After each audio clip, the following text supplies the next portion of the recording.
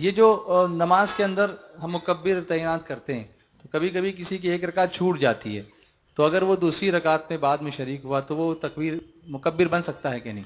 हाँ मुकब्बिर तो बन सकता है, लेकिन उसको इससे बचना चाहिए और मुकब्बिर उसी को रहना चाहिए जो शुरू से नमाज़ में हो। और हर आदमी को मुकब्बिर बनना भी नहीं चाहिए, उसी को बनना चाहिए जिसे नमाज़ के मसाइल वगैरह ठीक से मालूम है।